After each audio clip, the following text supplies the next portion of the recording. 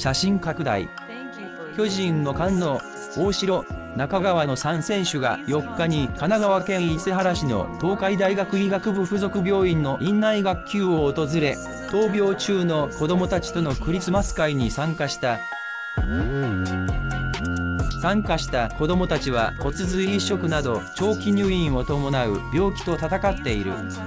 6年連続で参加している官能は来年日本一になってまたここに帰ってくると子どもたちに約束。